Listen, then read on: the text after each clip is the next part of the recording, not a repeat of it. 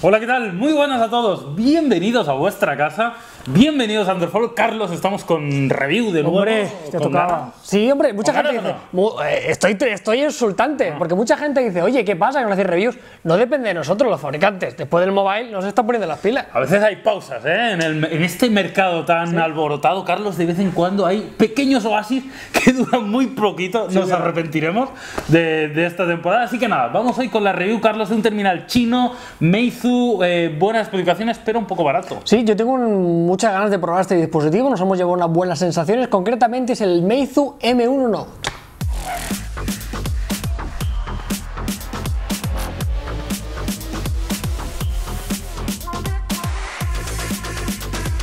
Bueno, pues vamos allá, arrancamos con nuestro análisis viendo el dispositivo por fuera. Y evidentemente, la primera vez que lo veáis, como nos sucedió a nosotros, Carlos, rápidamente reconoceréis las líneas de diseño, el tipo de dispositivo, muy claramente es un Meizu. Oye, aquí no se puede dudar, la prueba de paternidad no hará falta. Hombre, puede que sí, porque igual dudas si es un Meizu o está hecho en California por la gente de Apple. Ya lo dijimos en su momento con todos los dispositivos de Meizu, no vamos a entrar a valorar si el diseño del MX4 fue anterior al iPhone 6, montarlo como lo queráis, pero en este caso el M1 Note es clarísimamente un calco a la política que ha hecho Apple Sí. con sus dispositivos C, unos acabados en policarbonato, de los cuales ya os hablaremos, pero hombre, creo que es digno de mención hablar un poquito de estas eh, similitudes. Sí, curiosa similitud. Vamos a ver primero, si quieres, Carlos, las dimensiones para hacernos una idea de la clase de dispositivo del que hablamos. 15 centímetros de alto, 7,5 de ancho y 8,9 milímetros de grosor. Hombre, no es un terminal pequeño, Vaya. tampoco es de los más grandes, pero evidentemente estamos hablando de unas dimensiones considerables. Sí, es un poco lo de siempre, este nuevo dispositivo de 5,5 pulgadas Sí. que tan de moda se está poniendo y que a mucha gente le gusta. Apartado del peso, también importante, 150 gramos, no está nada mal teniendo en cuenta el ratio de dimensiones que tiene este terminal de Meizu. Y ahora vamos a hablar lógicamente de los materiales de construcción. Volvemos a hacer un poco de énfasis que es una pequeña imitación, se han inspirado en el iPhone 5C. Es policarbonato, es plástico, pero lo decimos siempre, si está bien trabajado, no hay ningún problema y sienta bien a la mano. Sí, sienta bien a la mano. Bien es cierto que nos damos cuenta muy rápido de que no es un terminal premium, está muy lejos de ello. Pero sí que es verdad que este acabado, pues bueno, hace que sea bonito el terminal, al menos a mi parecer, con este acabado brillante y algo, bueno, divertido, configurable, como es el tema de los colores y le da pues un toque distintivo a la Sí, gama. siempre nos toca a nosotros el color aburrido. Yo no lo es lo de siempre en Android for All, no podemos hacer nada. Pero si quieres que sepas que lo puedes comprar en amarillo, en verde, en azul y rosa. Y sin duda para mí, este es uno de los detalles más importantes de este teléfono, el factor de la personalización. Exacto, Carlos. Si quieres, vamos ya con temas importantes. Le hacemos el repasito como siempre. Parte delantera, tenemos la pantalla, tenemos este acabado con los bordes redondeados y en la parte inferior tenemos un botón, no es físico, es un botón táctil.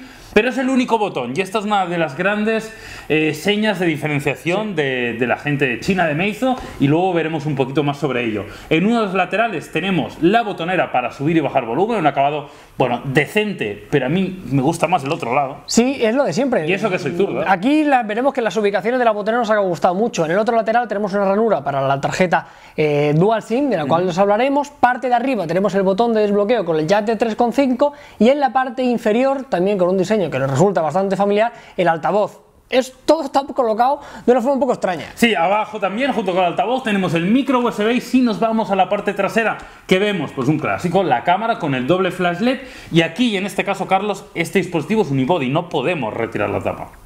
Ahora que ya conocemos por fuera el M1 Note de Meizu, vemos que es muy divertido, muy colorido, vamos a meternos en las entrañas y vamos a ver qué hardware lleva. Y en este caso es un terminal de precio bastante reducido y lógicamente monta el procesador octa-core de MediaTek, el Ajá. 6752, 64 bits y le acompaña la Mali 760, un hardware que hemos probado que lleva muchos dispositivos de esta gama media alta china. Exacto, la verdad es que es un hardware bastante testado. Suele ser habitual que cuando se quiera recortar algo en costes se tire más por MediaTek. Sí. También es verdad que me hizo no se casa con nadie aquí, Vaya, ¿eh? es- porque lo hemos visto utilizar prácticamente de todo en cuanto a procesadores y en esta ocasión pues se va con la firma china MediaTek. Cosas también interesantes, 2 GB de RAM acompañan todo el conjunto y para el almacenamiento tenemos, ojo, tenemos 16 GB, Carlos. Sí.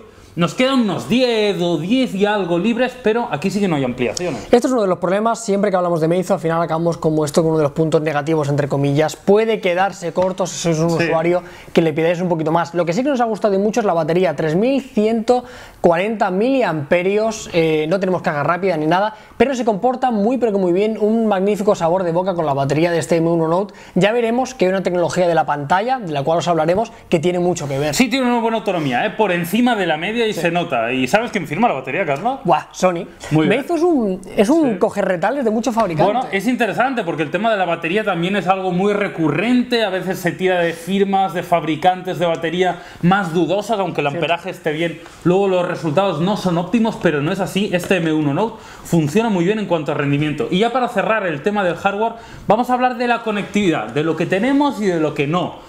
Más de lo que tenemos porque evidentemente es bastante. Sí, tenemos Bluetooth 4.0, tenemos GLONASS, tenemos Dual SIM Standby, que podemos responder y darle Ojo, a eh. pausa, suspender una llamada de la otra línea, es interesante, no todos lo tienen. Estás todo el día Yo estoy todo el día. en pausa. Yo digo, no me llames al trabajo, llámame al de casa y así constantemente. Que sepáis que de la Dual SIM únicamente una de ellas tiene 4G y ahora llama lo que no tiene. Bueno, pues no son muchas cosas, pero por ejemplo, no tiene el chip NFC, esta conectividad que cada vez estamos viendo más, incluso en terminales ya con un precio más reducido.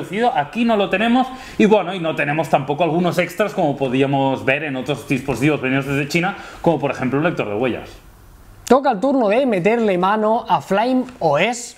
¿Fly o, o Fly Me? Flyme. Flame, Flyme. Ellos, los lo chinos decían Fly Me en la presentación. Fly Me, ¿eh? pues si los chinos dicen Fly Me, yo no soy quien para llevar la contraria. Hablemos un poquito del software y lo más importante puede ser sobre qué versión de Android trabaja. 4.4.2, nada de Lollipop. Veremos qué tal se comportan los chinos con su capa de personalización y un poquito lo de siempre. Una interfaz con un diseño bastante peculiar, pero por lo menos es rápida y usable. Sí, además bonita, al menos a mi parecer. Yo creo que Fly Me, la verdad es que es una capa bastante bonita, evidentemente muy inspirada en iOS, como prácticamente todo lo que hace la gente de Meizu. Pero la verdad es que a mí es una capa que me gusta. Sí que es verdad, te tienes que acostumbrar a no utilizar box de aplicaciones si la quieres utilizar. Pero bueno, es algo que algunos usuarios están dispuestos a sacrificar. Luego hay otras cosas que creo que también son bastante útiles. Una multitarea desplazando desde la parte inferior. La barra de notificaciones también bastante visual y bonita. Bueno, una buena capa. En el apartado estético está bien, eso sí, siempre que hablamos de Meizu, tiramos, le pegamos un tirón de oreja bastante importante, o por lo menos es algo muy personal. En el apartado estético os hemos dicho que únicamente tenemos un botón físico en el chasis, y es que el botón de atrás y el botón de menú se va a integrar en la pantalla.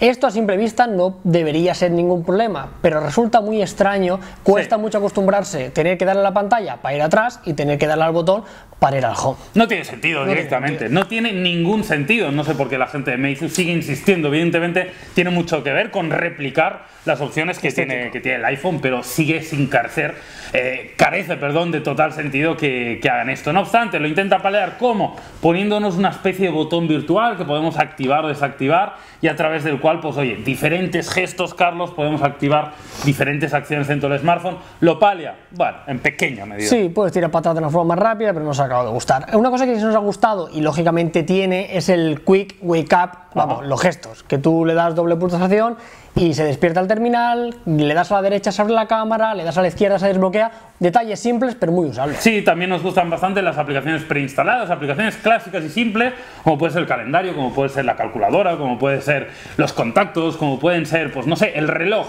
pero son mm, aplicaciones bien diseñadas, funcionales y bonitas que no tenemos siempre, incluso en Android nativo, me gustaría alguna de ellas. Cierto, y para terminar, una cosa que suelen llevar muchos dispositivos, sean chinos o no, es la navaja suiza, esta típica, pues tenemos una aplicación que es un Security Center para desinstalar aplicaciones, para escanear, para borrar memoria caché, lo típico, vaya.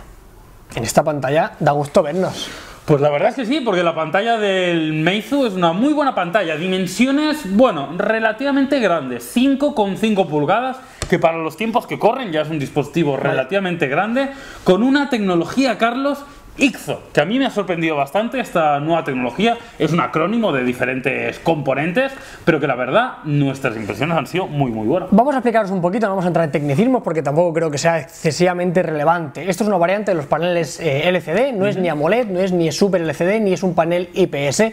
Eh, eso sí, la mayor ventaja que tiene este tipo de tecnologías que ha introducido Sharp, sobre todo en Japón, en tema de televisiones, es que son mucho mejores en lo que a eficiencia energética se refiere, y lo hemos dicho en el apartado del hardware, Este apartado, esta tecnología de pantalla favorece a que esto sea un pequeño mecherito. Sí, la verdad es que sí, y se nota. Otros aspectos relevantes, la resolución. Aquí no hay tanta novedad. Tenemos 1080 líneas, como suele ser habitual, resolución Full HD con 403 píxeles por pulgada. Y como decíamos antes, Carlos, una muy buena pantalla. Y esto se nota pues en detalles como, como el brillo, como la interpretación del color, los ángulos de visión que son muy buenas.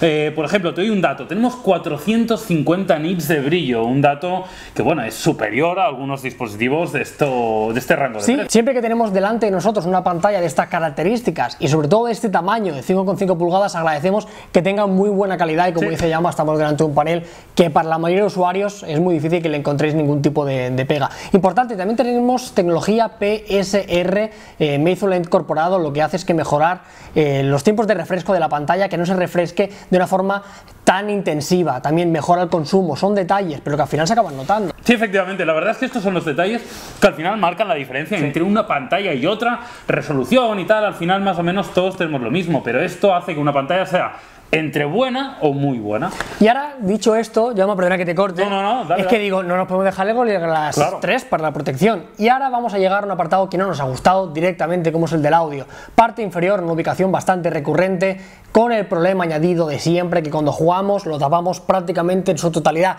Pero es que si no lo tapamos, pues se escucha bastante flojito. Sí, el audio es bastante mediocre, por así decirlo, y como siempre os ponemos un vídeo para que vosotros lo veáis. Come with me if you want to not die. What is happening? You're the special, and the prophecy states that you're the most important person in the universe. That's you, right? Uh, yes. That's me. Relax, everybody. I'm here. Batman? Awesome!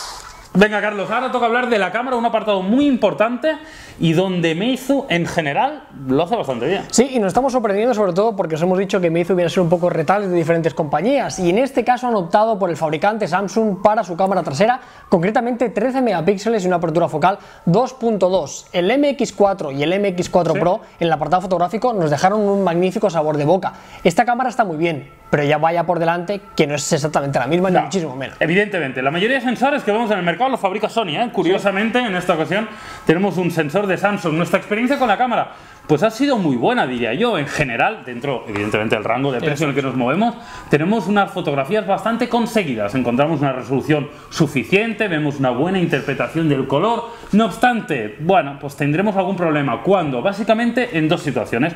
Una, cuando escasee la luz, como suele ser habitual, y otra, cuando queramos utilizar el HDR, ya que nuestra experiencia con él ha sido que, oye, no termina de funcionar del todo. Sí, se hace la picha un lío, ¿no? Por hablar de la forma más clara posible. Hay momentos que se pasa y, la sobreexpone de una forma muy acusada. Y como dice, llaman interiores y de noche, pues hombre, da un escalón, pero como decimos, por el precio que tiene, un poco lo de, lo de siempre. Apartado grabación, tenemos modo cámara lente, tenemos grabación a 1080p. Y ahora vamos a hablar un poquito de la aplicación. Siempre lo decimos cuando hablamos de Meizu. Es una aplicación muy rápida, dispara la verdad de una forma asombrosa. Y luego tiene una especie de desplazamientos en horizontal para cambiar los diferentes modos. A mí me gusta su sencillez, su simplicidad. Sí que es verdad que no es la cámara, la aplicación de cámara más profunda que encontramos en el mercado, no es la que tiene más opciones, pero me gusta que todo lo encuentras de un modo rápido. No necesitas pasar mucho tiempo con la aplicación para saber exactamente cómo hacer las diferentes funciones de ella. Y ahora, Carlos, si quieres, eh, cerramos ya hablando un poco del selfie. Del selfie, lo de siempre, la gente cada vez demanda más cámaras delanteras de mayor calidad, es una auténtica realidad. Pero con una tiene suficiente. Bueno, espérate tú, igual alguien se anima algunas más. En este caso tenemos una de 5 megapíxeles, apertura focal 2.0 y un gran angular de 69 grados, una cámara delantera que la verdad que está muy bien. Eso sí llama, yo te quiero advertir. Yo he visto, he visto lo que vas a decir. Yo te quiero advertir, porque llama muy del modo beauty. El modo beauty está muy bien si lo controlas, pero como se te vaya la mano, parece de otro planeta. Bueno, Carlos, y ahora para ir cerrando y encauzando la review, como siempre, dedicamos un pequeño apartado para hablar del rendimiento y la experiencia de uso con el terminal.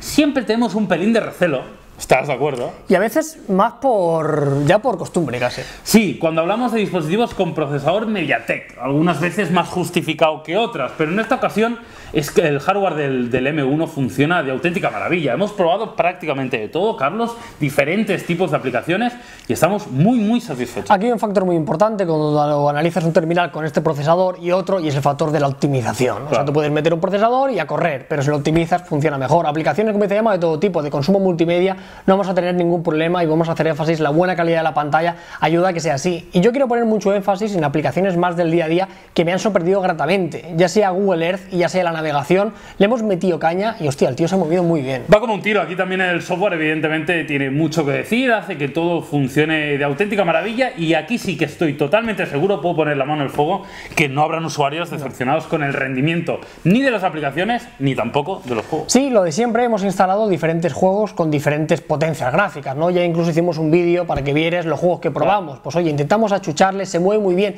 Eso sí, parece una tontería, pero es una lástima lo del apartado del audio. Cuando juegas, Cierto. te resta un poquito. Bueno, pues ahora sí, momento final. Terminamos la review del Meizu M1 Note. No sé por qué, a veces me a- hace así, Hace chispita la neurona, y me viene Xiaomi, pero no, Meizu y un terminal, Carlos, que vamos a hablar un poco del precio, porque tú te lo sabes muy bien. Yo me sé yo el apartado económico, sabes que siempre es uno de los detalles que más me importa. De y es que puño es- cerrado. de puño cerrado, pero es que claro, hablamos de teléfonos chinos y uno de los motivos para comprarte este tipo de teléfonos es el precio.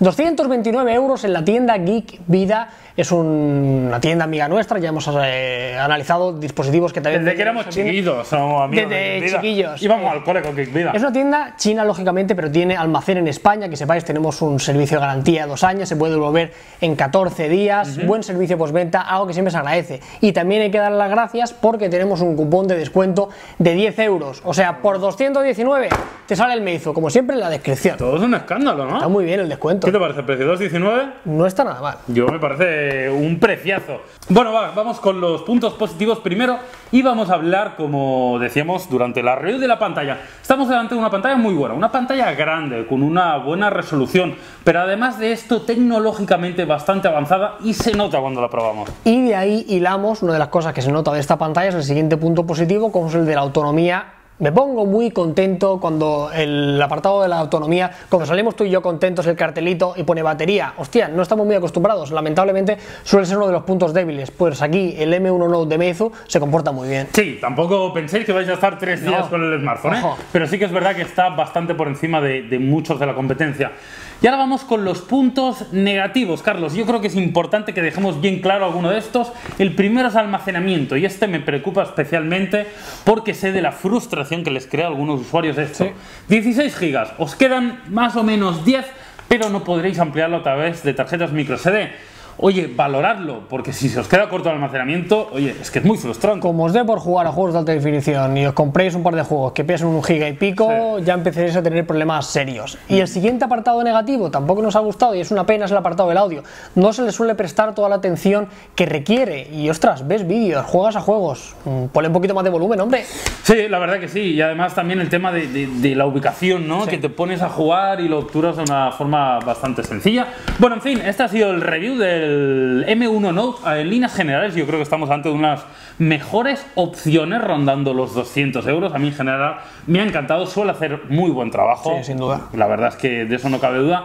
Y en este dispositivo ya lo esperábamos y así ha sido. Así que bueno, si quieres un terminal de 5,5 pulgadas, te gusta un poco el rollo este de plástico que se parece al 5C, que también, oye, te respetamos desde aquí si te gusta el terminal de la manzana. Cada uno hace lo que quiere con su gusto. Que sepas que sin duda es una magnífica compra. Y ahora, como siempre, te invitamos a que le des al like, que comentes este vídeo y si no lo estás, que me extrañaría mucho, que te suscribas. Así que nada, nos veremos muy pronto con más vídeos. Que vaya bien. Hasta luego.